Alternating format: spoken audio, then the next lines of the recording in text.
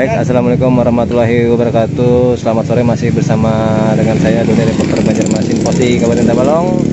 Eh, kali ini saya masih memperlihatkan bagaimana suasana peringatan Hari Skateboard Dunia yang digelar di area Pendopo Bersinar. Lagu ya.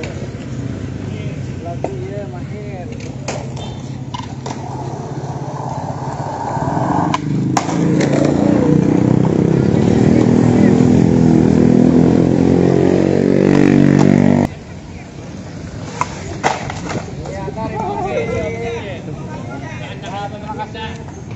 Jamaica,